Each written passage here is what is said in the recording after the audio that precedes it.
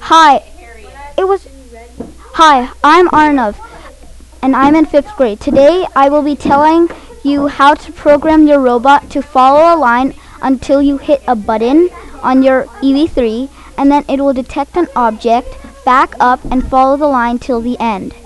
And in the middle of that fol- last follow the line, you will have to switch the direction that the line will follow.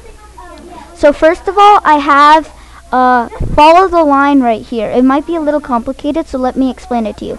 This right here is the reflected light intensity that's shown by the color sensor. So basically what it means,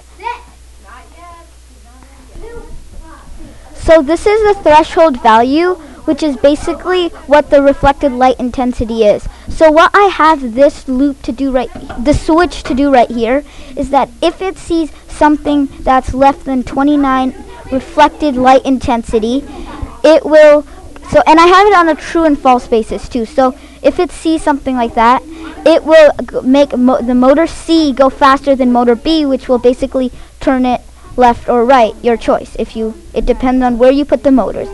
And then down here is the opposite. B will go faster than C, and again it'll turn left or right, depending on where you put your motor, except it will go opposite than this. And so this will repeat for, this is when, and this will keep on going until you press the middle button, or number two here, the middle button, in on your EV3. And then you only have to press it once. And then so this basically means the brick buttons and when you press it. And then after that, I made it pivot turn because it's at a planet in our obstacle course and it should turn around the planet, basically like it's covering the whole planet. And then this will repeat two times because there's two planets. And then so this is a loop interrupt which will basically stop this loop if it does not stop just for safety issues. What? And then this will just basically stop both motors. And then this here will make the motor B turn half a rotation at the speed of 20. And then this will make both of them go forward. So basically what this is doing, this is angling it so it angles itself at the space junk is what we called it. And then when it sees the space junk, it should back up. So this right here, it basically says to keep this going until it sees um, something that's 10 centimeters away from the ultra, 10 centimeters or less away from the ultrasonic sensor, and it's in centimeters.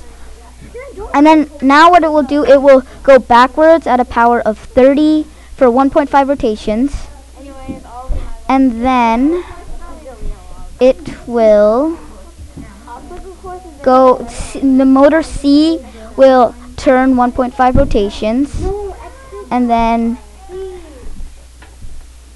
here both motors will go forward for um, three fourths of a rotation, and then again I have the light sensor here, and still again it's for it's basically the same concept as last time, same numbers here, and then over here it's the same brick button thing, but after I'm not repeating it two times, and there is no pivot turn. But when you press the button, it has to switch to a different version. As you can see, this is C and B on the top for true. But over here, it's B and C. I had to switch it because the black line that I'm following turns in a different direction. And then if you, you keep it the same, it'll just veer off course.